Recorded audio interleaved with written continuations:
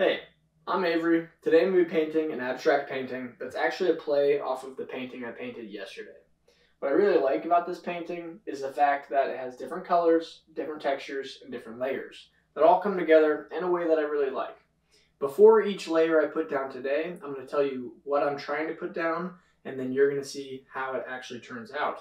And the goal here is to paint in my mind similarly to what actually goes down on the paint. Let's do it. I'm going to mix a bunch of colors that I don't like into colors maybe that I like, and then I'm going to end up covering this up. I'm just trying to create some motion.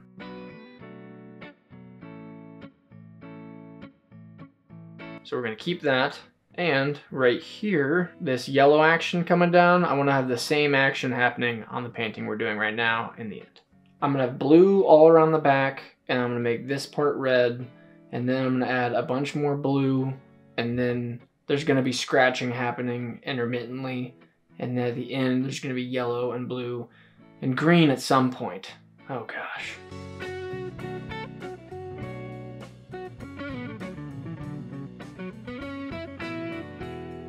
The next thing I want to do is put a whole layer of blue, green, white, and black over this, kind of going around these shapes, but completely covering it. I then want it to dry halfway maybe, and then I'm to add some yellow and blue on top of that, and then I'm to cut into it a bunch,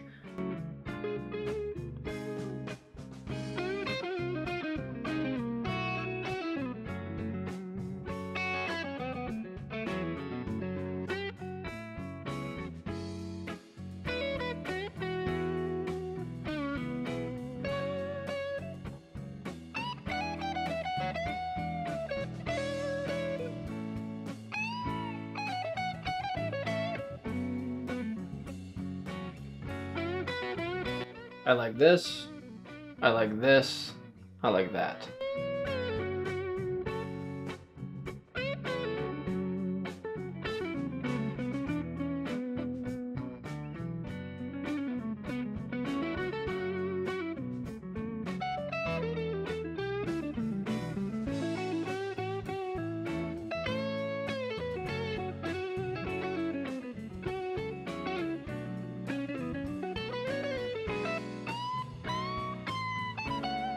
Wait, wait, wait, wait, wait. Before the final shot, this is yesterday's painting we were playing off of.